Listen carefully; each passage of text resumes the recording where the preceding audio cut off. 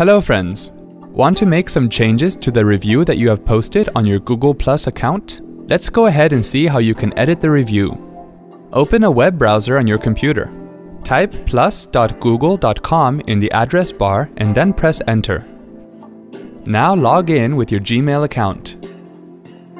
Click More on the Google Plus main navigation and then click Local icon on the menu that appears.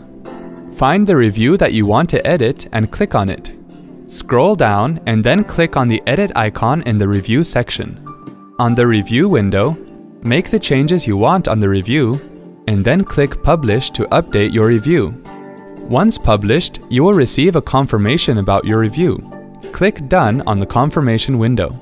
Wasn't that easy? Thanks for watching.